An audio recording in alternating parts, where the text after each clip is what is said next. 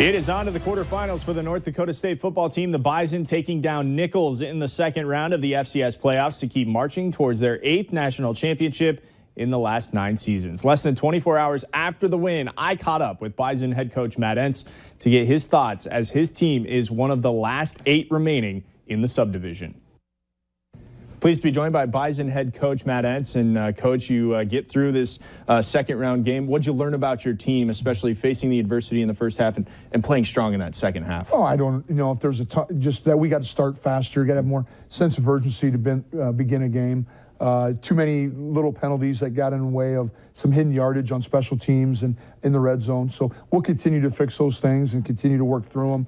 Uh, but pleased with how we responded in the second half. I know it's a small senior class, but it was a senior that came up with one of the bigger plays mm-hmm. uh, of the game. James Hendricks, what does he mean to this program? Well, he's unbelievably valuable. His leadership, uh, his ability to play good football, uh, his knowledge of what we're doing defensively helps get guys aligned out there, and just the, the calming effect he has with some of our younger players, and the and the and the helping of guys like a Dawson Weber grow in his role and a Michael Tutsie grow in their role. Uh, he's been extremely uh, valuable for me and for our entire team in 2019. Illinois State coming to the Dome for the quarterfinals. It's a fun game because it's the only game on uh, that Saturday and it's on ESPN. What does that mean in terms of recruiting when you can say we are on national television? Well, I mean, it's it, it, it talks uh, a lot about our history, uh, a lot about the the what we've done in the past. Uh, we got to make sure we take care of business on Saturday. Um, you know, that, that's why they're putting us on TV.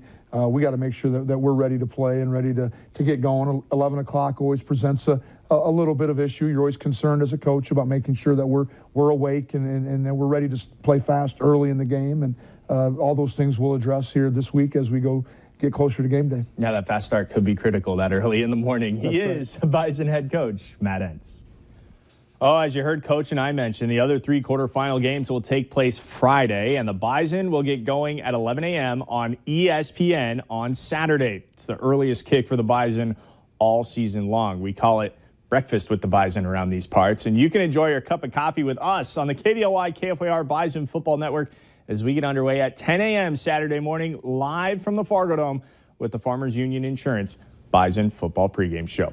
That's going to do it for your morning sports. Make sure you join us right back here tonight at 6 and 10.